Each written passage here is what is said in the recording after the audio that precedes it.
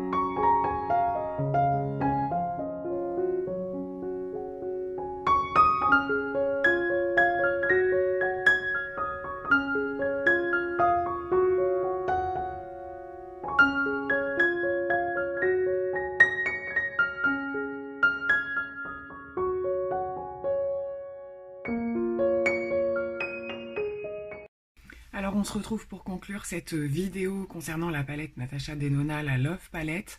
Euh, écoutez, de manière générale, j'en suis euh, relativement contente. Je ne sais pas si vous aurez pu le remarquer, mais cette palette m'a beaucoup inspirée euh, pour faire des choses que je fais pas forcément d'habitude. Donc, je suis pas partie dans des choses hyper extravagantes, mais quand même, quand on regarde euh, me concernant ce que je fais d'habitude, quand même un petit peu. Donc c'est vrai que j'en ai profité euh, pour apporter des petites accessoirisations euh, telles que dans ce look là, donc j'ai j'ai pris le petit Ivy Metal de chez Urban Decay parce que je trouvais que ça se bah, ça se prêtait un petit peu à ce que j'avais fait. Concernant l'autre make-up, bah, il fallait absolument que je teste le gris qu'il y avait à l'intérieur de la palette, hein, clairement. Donc voilà, j'avais accessoirisé avec du gris aussi, il est là. Et euh, je dois dire que par rapport à, tout ce qui a pu se passer, ben, je suis quand même relativement contente. Euh, là, je vais voir pour celui-ci, mais l'autre make-up que j'avais fait a extrêmement bien tenu. J'ai pas eu le problème de mélange de fard comme ça peut se faire un petit peu euh, parfois chez Natasha Denona. Tout s'est plutôt bien travaillé. Il y a quelques fards qui sont un petit peu poudreux, mais enfin voilà, rien de rien d'affolant. Il y a quand même beaucoup de fards qu'il faut prendre au doigt, ça vous l'aurez constaté. Euh, ça va, il y a de la pigmentation au pinceau, mais euh, voilà, on veut quand même voir ce que la palette a dans le ventre et du coup il faut y mettre les doigts. Euh, les petits embouts mousse aussi hein, ont vachement bien marché là pour les coins internes. Je l'ai fait que pour celui-là, je l'avais pas fait pour l'autre parce que justement je voulais comparer avec l'intensité au doigt aussi, mais dans le creux de l'œil c'est pas forcément ce qui est le plus facile. Donc écoutez, euh, je suis globalement hyper satisfaite. J'ai pas tout utilisé. Voilà, c'est vrai que la seule chose à laquelle j'ai pas touché, ce sont les mauves. Euh, ces deux-là en particulier. Pour le reste, on peut dire que j'ai fait à peu près le tour et j'en suis hyper contente. Euh, voilà, le rose, euh, là, c'est merveilleusement bien comporté. C'est celui que j'avais dans l'autre make-up aussi. Il faut venir un petit peu, un peu plus le chercher parce que bah, il est assez clair, mais il est euh, tout en reflet aussi et ça rendait super bien. Donc je dois dire que franchement, euh, coup de cœur pour cette palette. J'ai rien de particulier de négatif à dire. C'est vrai que maintenant, je commence à être un petit peu habituée à la marque, donc je commence à savoir m'équiper en fonction de ce que je veux travailler. Mais euh, voilà, me concernant, je dois dire que c'est euh, une palette coup de cœur. Donc ça peut éventuellement inspirer, bien sûr, pour celles qui veulent se faire des petits make-up pour la Saint-Valentin. C'est certain que cette palette est idéale si on veut être dans les rosés, les choses comme ça. Euh, vous voyez quand même que ça tourne au niveau des creux de paupières. On a soit du rose, du rose, soit des teintes un peu plus rouges ou les mauves. Il n'y a pas de marron, de choses comme ça. Donc on va forcément partir sur des choses qui se ressemblent un petit peu, mais voilà, on peut quand même apporter des différences. Euh, voilà, gros coup de cœur également, ma petite Karine, si tu passes par ici, je te fais plein de gros bisous. J'ai donc mis le Huda Beauty qu'il y avait dans ton concours. Et je dois dire qu'il est magnifique. Il est, euh, alors, il est ultra glossy avec des micro paillettes. Il a des reflets dans tous les sens. Je le trouve extrêmement magnifique. Et je trouvais euh, se passait bien avec la, avec la palette pour les yeux. Donc écoutez, je dézoome un petit peu quand même pour faire la conclusion. J'espère que cette vidéo et ces looks euh, vous auront plu. N'hésitez pas à me dire bien sûr si vous avez euh, la palette, ce que vous en pensez, ou si vous pensez l'acheter, ou voilà, quoi que ce soit.